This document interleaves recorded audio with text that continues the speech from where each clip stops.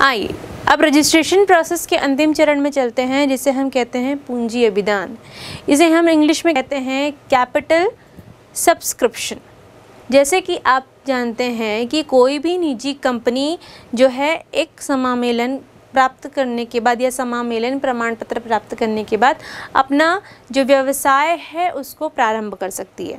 लेकिन अगर हम एक निजी कंपनी या हम कह सकते हैं एक सार्वजनिक कंपनी, जिसमें अंश पूंजी नहीं हो, समामेलन के तुरंत बाद व्यापार कर सकती है। इस अवस्था व व्यापार प्रारंभ करने की अवस्था में जो अंश पूंजी वाली सार्वजनिक कंपनी होती है, वो उस पर लागू होती है। जो प्रवर्तक होते हैं बच्चों, वो प्रवर्तकों को पूंजी एकत्रित करने के लिए कुछ कार्यवाही करनी पड़ती है। क्या कम कार्यवाही करनी पड़ती है कि कंपनी जनता को प्रविवरण जारी करती है। अब ये प्रवरण क्या होता है? यानी प्रोस्पेक्टस प्रोस्पेक्टस जैसे कि आप जानते हैं कि आप जैसे कॉलेज में जाएँगे डिफरेंट कॉलेजेस में कॉलेजेस अपने प्रॉस्पेक्टस जारी करते हैं। उसमें कॉलेज के सारे डिस्क्रिप्शंस दिए रहते हैं, ठीक है? वो कितने एरिया में सेटल डाउन है, उनमें कौन कौन से डिपार्टमेंट्स हैं कौन कौन सी ब्रांचेस हैं लाइब्रेरी कहाँ है कैंटीन की सुविधा है कि नहीं है, साथ ही साथ उनका फैकल्टी मेंबर्स क्या हैं स्टाफ मेंबर्स क्या हैं, और वो कौन कौन से डिग्रीज़ को होल्ड करते हैं या उनके क्वालिफ़िकेशंस को हम कह सकते हैं। ये सारी चीज़ें वो अपने क्या करते हैं, उस प्रविवरण यानी प्रॉस्पेक्टस में मेंशन करते हैं। तो उसी तरीके से जो कंपनी है, वो जनता को प्रविवरण जारी करती है और साथ ही उसकी एक प्रति जो है रजिस्ट्रार को भेजती है। फिर क्या करती है कि अंशों के लिए आवेदन पत्र जो है बैंकर को भेजा जाता है।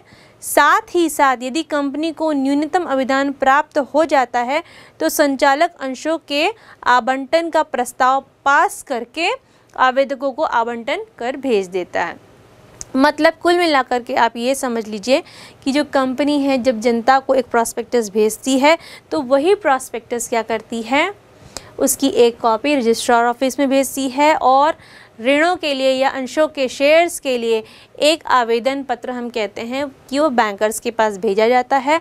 और यदि कोई कंपनी जो है न्यूनतम अभिदान यानी मिनिमम सब्सक्रिप्शन को प्राप्त कर लेती है तो वहाँ पे वह संचालक जो हैं कंपनी के उन अंशों को आवंटन या आ, उन आ, जो हम कह सकते हैं, उन अंशों के आवंटन का प्रस्ताव पास करते हैं, साथ ही साथ क्या करते हैं, उन आवेदकों को आवंटन के लिए आवंटन पत्र भेजे जाते हैं। अब हम देखते हैं कि इसमें जो अगला इस कार्य में मतलब कि इस कार्य में कि किस तरीके से पूंजी एकत्रित कर रहे हैं, उस कार्य में अगला कार्य ये भी होता है कि जो रजिस्ट्रार को आवंटन रिटर्न भी भेजा, भेज दिया जाता है और साथ ही साथ यदि कंपनी प्रवरण जारी करने के 120 दिन, यानी चार महीने की बात कर रहे हैं हम यहाँ पे।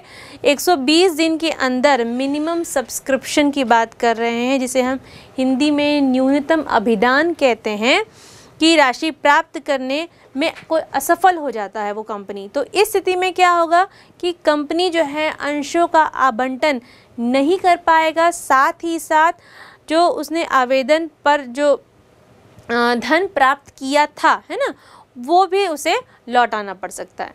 अभी तक मैं चर्चा कर रही हूँ कि मिनिमम सब्सक्रिप्शन की, है ना? या जिसे हम हिंदी में कह रहे हैं न्यूनतम अभिदान। अब हम जानते हैं कि ये न्यूनतम अभिदान क्या होता है।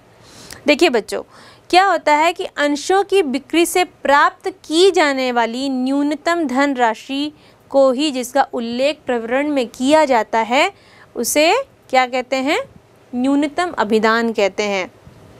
इसके बाद क्या कर सकते हैं? जैसे ही ये राशि मतलब रजिस्ट्रेशन पीरियड के जो ड्यूरेशन दिया है, उस ड्यूरेशन प्राप्त हो जाती है तो कंपनी क्या करती है? जनता को अंश लेने के लिए क्या कर सकती है?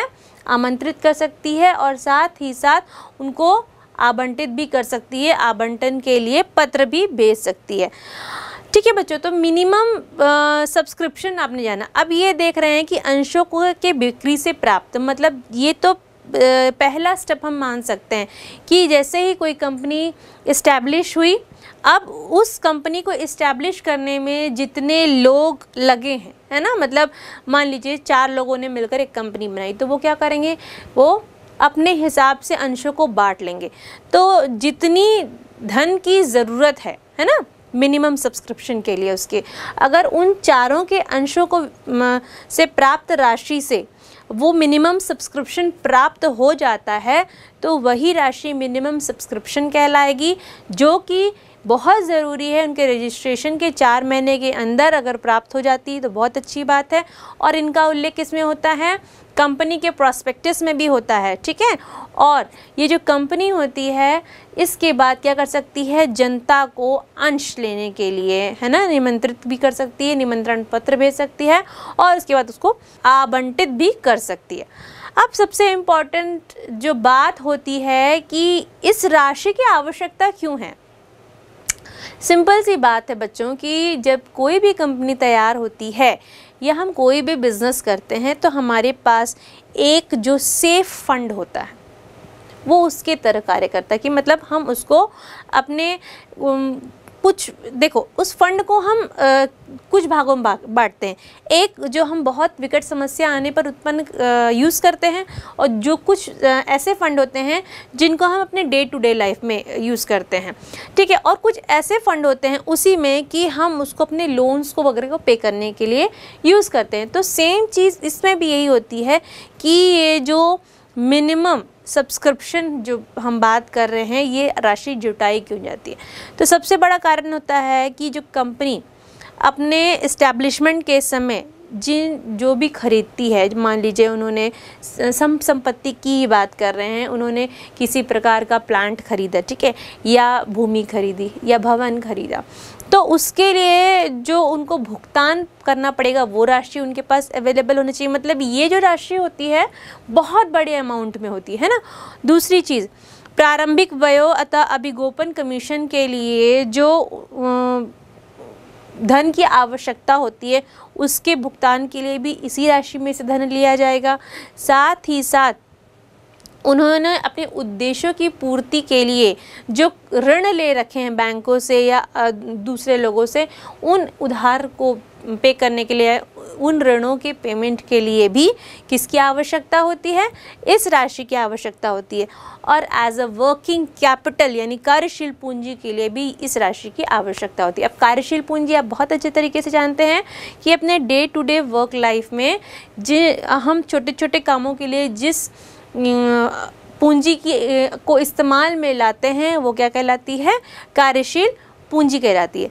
अब हम जो इस मिनिमम सब्सक्रिप्शन की बात कर रहे हैं या न्यूनतम अभिदान की बात कर रहे हैं, ये हमेशा कैश में ही होता है। अगर ये कैश के अलावा किसी और तरीके से हो तो उसे एक्सेप्ट नहीं किया जाता।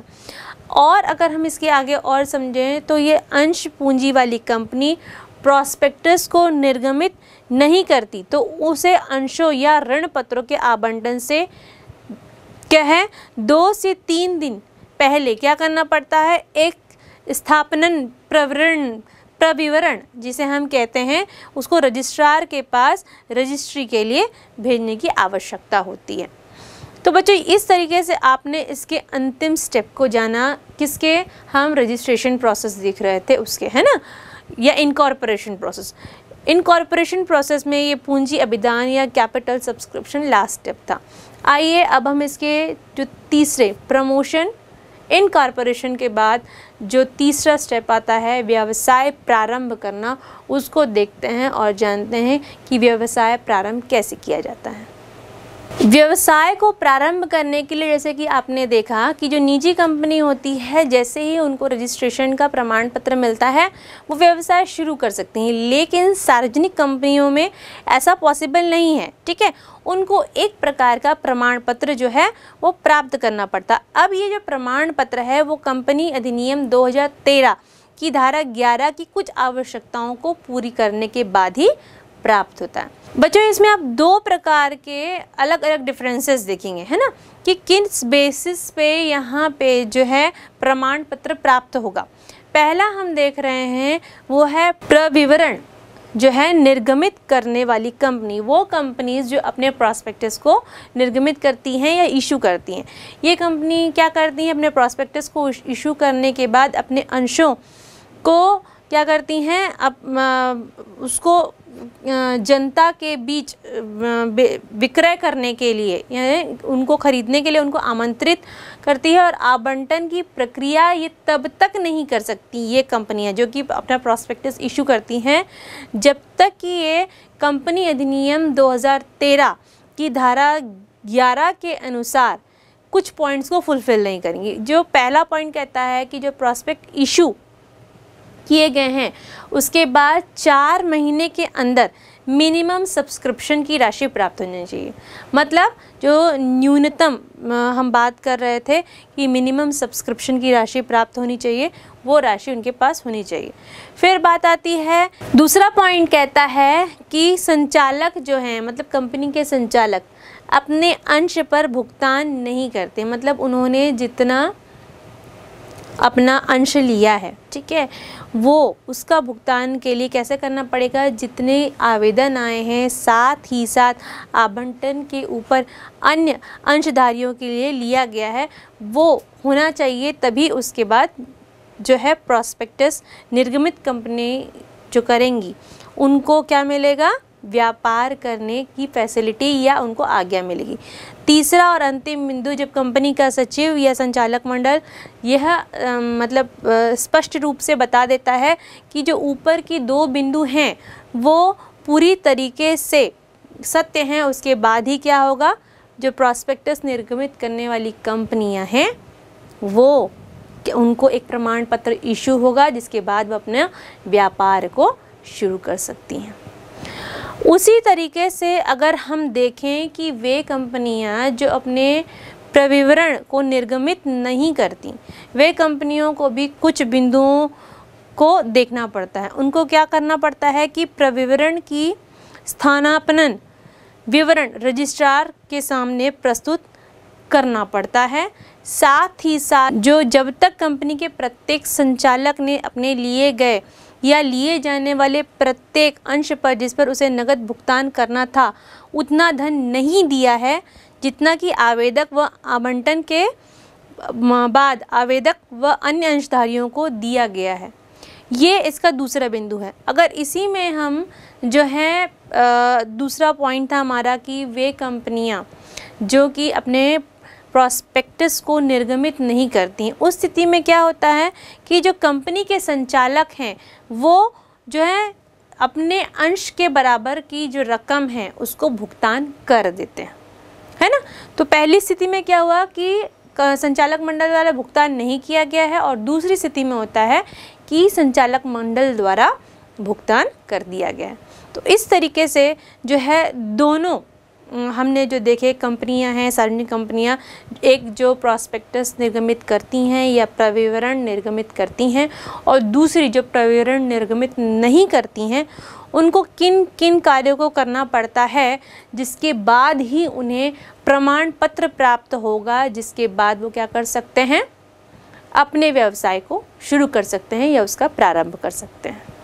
आइए अब हम देखते हैं जो व्यापार प्रारंभ करने के प्रमाण पत्र के नमूने के बारे में, यानी specimen certificate of commencement of business इसमें क्या होता है? इसमें देखिए, जैसे कि आपको दिख रहा है, इसमें लिखा है कि मैं यह प्रमाणित करता हूँ कि डैश लिमिटेड डैश जो कंपनी अधिनियम 2013 के अंतर्गत तिथि डैश में सम्मिलित हुई थी और जिसने आज निर्धारित फॉर्म पर इस आशय की वैधानिक घोषणा जमा कर दी है तथा धारा 11 की शर्तें पूरी कर ली गई हैं। व्यापार प्रारंभ करने के लिए अधिकृत है। फिर आता है, फिर एक रिक्त दिख रहा है उसमें आपको, फिर मैं आज रिक्त स्थान को मेरे हस्ताक्षर में दिया गया। कंपनी के एक साइड, लेफ़्ट हैंड साइड में आप देखते हैं कि कंपनी के रजिस्ट्रार की सील होती है और ठीक उसके अपोजिट साइड में या हम राइट हैंड साइड में देखते हैं तो वहाँ पर हस्ताक्षर कंपनी रजिस्ट्रार है। तो इस प्रकार से आपने व्यापार प्रारंभ करने के लिए जो प्रमाण पत्र दिया जाता है, उसकी नमूने को देखा है और उसको जाना है, साथ ही उसको समझा भी है। आइए अब हम इसके तीसरे चरण में चलते हैं। अभी तक हमने देखा कि कंपनी फॉर्मेशन में किन किन चीज़ों की ज़रूरत थी। प्रमोटर्स चाहिए थे, प्रमोशन हमने जाना। फिर एसोसिएशन जाना। इसके बाद अब हम देखते हैं कि कंपनी की स्थापना में प्रयोग में आने वाले जो प्रलेख, यानी डॉक्यूमेंट्स जिसके बारे में हमने चर्चा बहुत ही छोटे से में की थी या बहुत ही कम शब्दों में जिसे हमने समझा था। आइए अब हम उन्हें विस्तृत रूप से जानने का प्रयास करते हैं। जैसे कि पहला मैंने आपको बताया था कि जो पहला डॉक्यूमेंट या प्रलेख होता है, वो होता है पार्षद सीमा नियमन, जिसे हम कहते हैं मेमोरेंडम ऑफ़ एसोसिएशन इंग्लिश में। अब जैसे कि मैंने आपको पहले भी बताया था कि ये जो मेमोरेंडम ऑफ़ एसोसिएशन होता है, ये बहुत ही महत्वपूर्ण डॉक्यूमेंट होता है किसी भी कंपनी के रजिस्ट्रेशन के लिए, किसी भी कंपनी के लिए। क्योंकि इस डॉक्यूमेंट के अंदर कंपनी के उद्देश्यों को, उनके अधिकारों को निश्चित किया जाता है कि किस उद्देश्य की प्राप्ति के लिए और किन अधिकारों के साथ उन उद्देश्यों की प्राप्ति के लिए वो कंपनी अग्रसर होगी। तो हम इस तरीके से भी कह सकते हैं कि ये जो एम ओ ए है या मेमोरेंडम ऑफ़ एसोसिएशन हम कह सकते हैं, या फिर हम इसे पार्षद सीमा नियम नियम भी कह सकते हैं। ये जो डॉक्यूमेंट ये प्रलेख है, ये एक कंपनी की चार्ट की तरह होता है, जो कि कंपनी के उद्देश्यों को एकदम स्पष्ट रूप से व्यक्त करता है है ना? और उसके अधिकारों को भी उनकी सीमाओं के साथ बताता है, हम ये भी कह सकते हैं।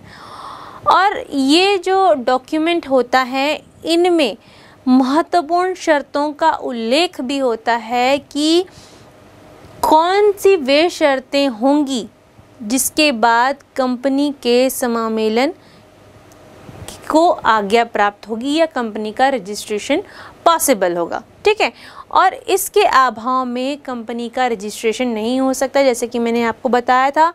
और कंपनी की क्रियाओं को, यानी जितनी भी कंपनी की एक्टिविटीज़ होती हैं, ये क्या करती हैं? उनको एक एक बाउंड्री में बाँध देती है। मतलब कि उनकी एक्टिविटीज़ को चार दीवारों से घेर देती। है जैसे कि मैंने आपको बताया कि ये जो अधिकार हैं उसके, उसको क्या कर देती हैं? निश्चित कर देती हैं। अपनी उन क्रियाओं को जिन्हें क्या किया गया है? उस मेमोरेंडम ऑफ़ एसोसिएशन में बाँध दिया गया है। अगर उसके अलावा कोई क्रियाएँ की जाती हैं तो उन्हें व्यर्थ माना जाता है। और इसका कंपनी का मुख्य उद्देश्य ये होता है कि उनके साथ जो कार्य करने वाले लोग हैं, जैसे अंशधारी हैं और ऋण देने वाले हैं, साथ ही साथ अन्य व्यक्ति जो किसी न किसी तरीके से कंपनी से जुड़े हैं वो कंपनी के उद्देश्य को जाने, साथ ही साथ कंपनी के कार्यक्षेत्र को अच्छे तरीके से समझें। तो इस तरीके से हमने मेमोरेंडम ऑफ़ एसोसिएशन होता क्या है वो जाना। आइए अब इन्हें कुछ विशेषताओं के माध्यम से और अच्छी तरीके से जानने की कोशिश करते हैं कि मेमोरेंडम ऑफ़ एसोसिएशन या पार्षद सीमा नियम, इसकी विशेषताएँ क्या हैं। जैसे कि आप स्क्रीन पर देख रहे हैं, जो पहला बताता है कि जो मेमोरेंडम ऑफ़ एसोसिएशन है, ये एक प्रकार के अधिकार पत्र भी होते हैं, जिसमें कि कंपनी के अधिकारों को क्या किया जाता है, उसका वर्णन होता है तथा उनका नियमन किया जाता है, उनका सीमा उनको एक बाउंड्रीज़ में बांधा जाता है। साथ ही साथ ये एक बहुत ही इम्पोर्टेंट जो है डॉक्यूमेंट होता है या प्रलेख होता है, जो कंपनी को तैयार करना पड़ता है और उसकी एक प्रति जो है या उसको रजिस्ट्रार के पास फ़ाइल कराना पड़ता है। ठीक? अब प्रत्येक कंपनी द्वारा, है ना, इस डॉक्यूमेंट को मौलिक रूप से तैयार करना ज़रूरी है, क्योंकि जिन कंपनी के पास ऐसा माना गया है या ऐसा होता भी है कि कंपनियों का अस्तित्व नहीं माना जाएगा या उनका रजिस्ट्रेशन पॉसिबल नहीं है, जिनके पास ये मेमोरेंडम ऑफ़ एसोसिएशन नहीं होता। इसके बाद बताती है कि कंपनी समामेलन के आधार भूत उद्देश्य देती है। अब क्या बताया मैंने कि शुरुआत में ही कि जो मेमोरेंडम ऑफ़ एसोसिएशन रहती है, वो कंपनी के जो आधारभूत उद्देश्य हैं, उनको डिसाइड किया जाता है उसमें। तो ये भी, ये सेम स्टेटमेंट कहता है कि आधारभूत उद्देश्य देती है। अब जो है कंपनी के नाम जो होते हैं, इस मेमोरेंडम ऑफ़ एसोसिएशन में क्या होते हैं कि इनका उल्लेख होगा कंपनी के नाम का उल्लेख होगा, उनके प्रधान कार्यालय का उल्लेख होगा, सदस्यों का उल्लेख होगा, उनके दायित्वों का उल्लेख होगा, साथ ही साथ उद्देश्यों का एवं अंश पूंजी का भी उल्लेख होता है। फिर कंपनी कि जो ये मेमोरेंडम ऑफ़ एसोसिएशन का जो डॉक्यूमेंट है या ये जो डॉक्यूमेंट है, ये अपरिवर्तनीय होता है। इन्हें केवल विशेष परिस्थितियों में, किन्हीं विशेष परिस्थितियों में ही बदला जा सकता है। ऐसे इनमें जो लिख दिया जाता है मेमोरेंडम ऑफ़ एसोसिएशन में, उनको चेंज करना पॉसिबल नहीं है। फिर बात आती है कि यह एक सार्वजनिक प्रलेख है, क्योंकि जैसे कि मैंने बताया है, ये कंपनी का चार्ट होते हैं। ये चाहते हैं कि कंपनी के साथ जो लोग भी जुड़ना चाहते हैं, वो कंपनी के उद्देश्यों को अच्छे तरीके से जाने, पहचाने, उनके अधिकारों को जाने, है ना? उनकी बाउंड्रीज़ को जाने। उसके बाद ही उन कंपनीज़ के साथ जुड़े। तो ये जो होते हैं, एक सार्वजनिक प्रलेख भी होते हैं और इनको देने के बाद ही समामेलन या रजिस्ट्रेशन होना पॉसिबल होता है। ये जो होते हैं, किन्हीं कंपनी के, किसी भी कंपनी का जो आधार होता है, इसके बाद ही जैसे मैंने बताया, किसी भी कंपनी का रजिस्ट्रेशन पॉसिबल होगा और इस पर कंपनी के निर्माणकर्ता जितने भी डायरेक्टर्स हम कह सकते हैं जिन लोगों ने मिल कर के इस कंपनी का निर्माण किया है, उन सभी के हस्ताक्षर पाए जाएँगे और साथ ही साथ कंपनी का संविधान भी इसे कहा जाएगा, क्योंकि इसमें कंपनी के उद्देश्य और साथ ही साथ उनके अधिकारों के बारे में जानकारी दी जाती है। तो बच्चों, इस तरीके से हमने कंपनी की स्थापना में प्रयोग होने वाले प्रलेख, पहला प्रलेख पार्षद सीमा नियम, की एक छोटी सी झलक देखी या उसके कॉन्सेप्ट और उसकी विशेषताओं को जाना। आइए उसके बारे में और अधिक जानकारी प्राप्त करते हैं।